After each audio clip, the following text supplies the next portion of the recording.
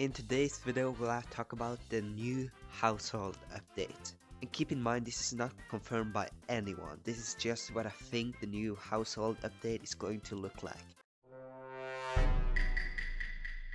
And I should probably not make this video because I'm sick and tired, but I'm just going to make it anyways. And we got a new message of the day where it says a 3 day notice, but it's a 2 day notice because this came out a day ago.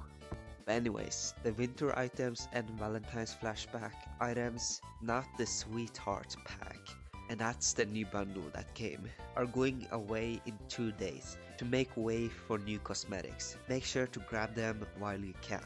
So it says here to make way for new cosmetics.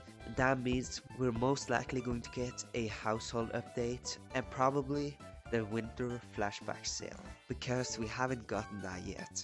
So we're probably going to get either a winter flashback sale or a household update. And if we get the household update then we're most likely going to get some new cosmetics and most likely a flashback sale from last year and if it does then we can finally buy the cookie jar again also the plunger that went on top of your head and also the saucepan and the wrench plus the fork and knife that went in both hands.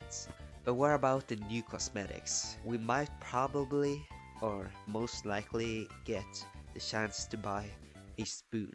Not a tiny one that was the size of your hand, but a big one like the size of the umbrella, and most likely even more cosmetics.